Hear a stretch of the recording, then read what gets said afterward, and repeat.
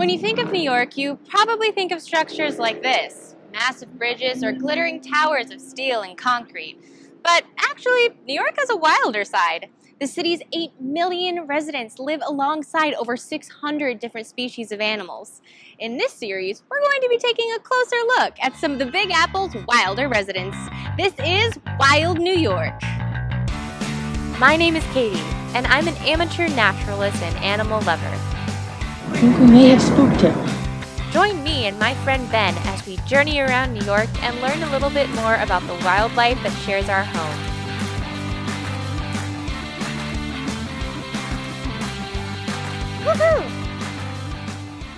If you live in or visit New York, you're bound to encounter some unconventional smells.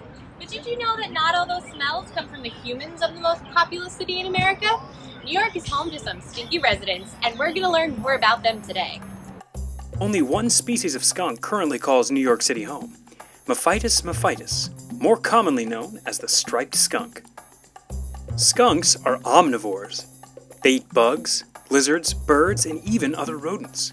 They can also survive off worms, berries, and human food scraps.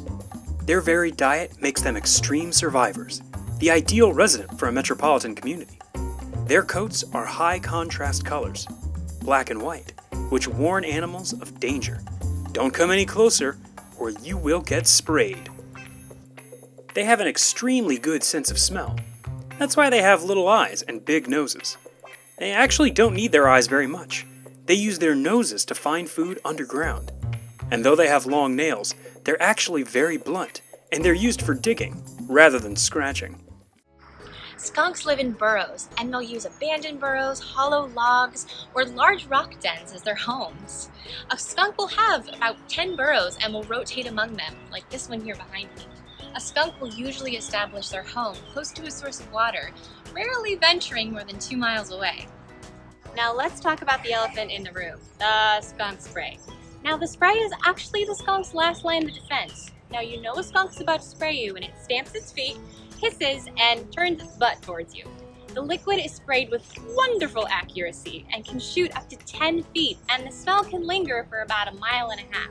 Now the spray can cause irritation and asthma, and it's actually a myth that tomato juice can be used to get the smell away.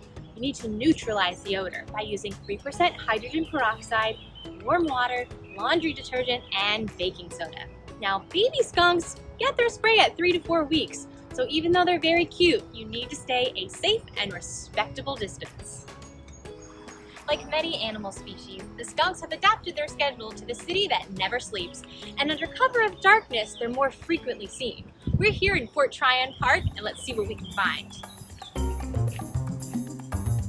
Striped skunks have an easily identifiable coloration. Two thick white stripes along the back and tail contrast sharply with an otherwise black coat.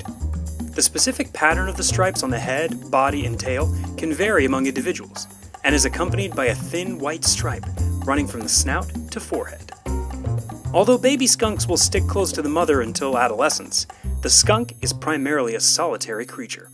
Let's see if we can find some in the wild. So we found our first skunk tonight at Fort Tryon Park. It's a little baby. It's coming close to us, so we gotta be a little careful. Ah, there's our little guy. While Katie loops around from behind, I have the unenviable task of approaching with the camera and the flashlight. But like we said, skunks have poor eyesight, so they're not too bothered by the flashlight. In fact, they barely notice us at all.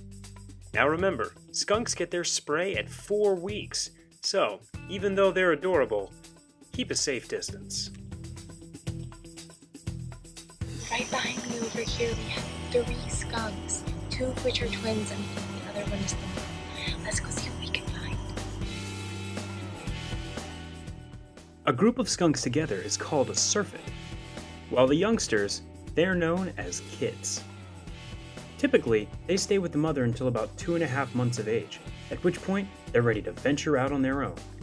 These two here are experimenting with wrestling, a valuable technique for both fighting off predators and capturing prey. Despite their musk being underdeveloped, they still have the strong instinct to assume an attacking posture if they feel threatened. Thanks to their position near the top of the food chain and their powerful defense mechanism, Skunks tend to be pretty laid back. If one you're observing gets agitated, just give it some space, and it'll go right back to that adorable, carefree behavior. Oh, and uh, make sure you don't put the flashlight behind the camera. Great work, Ben. Skunks do not exhibit sexual dimorphism, meaning it's hard to tell males and females apart. The biggest tell is behavior.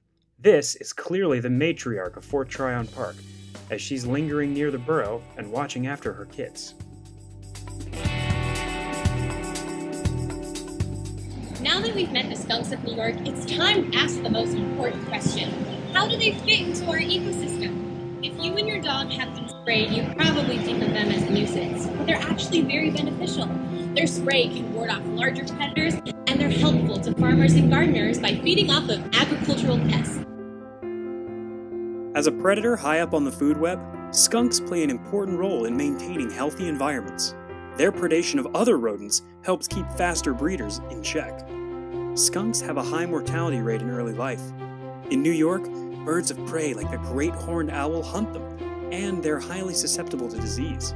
In North America, they're the number two vector for rabies. In the wild, they can live up to seven years, but on average, their lifespan is only two to five years. Despite its drawbacks and reputation in popular culture, skunks are a vital part of any ecosystem. If you and your pet can keep a safe distance, if you can properly dispose of your trash, and if you can learn to live alongside them, the skunk is another beautiful creature that can keep the concrete jungle a wild New York.